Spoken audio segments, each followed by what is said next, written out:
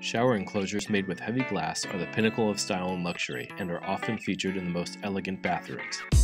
Made with half or 3 8 inch thick glass with polished edges, these spa-like enclosures feature domestically sourced aircraft-grade aluminum hardware.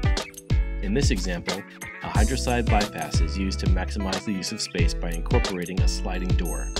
These specialty sliders operate with a fixed panel and a sliding door in a single track to allow easy access to the shower.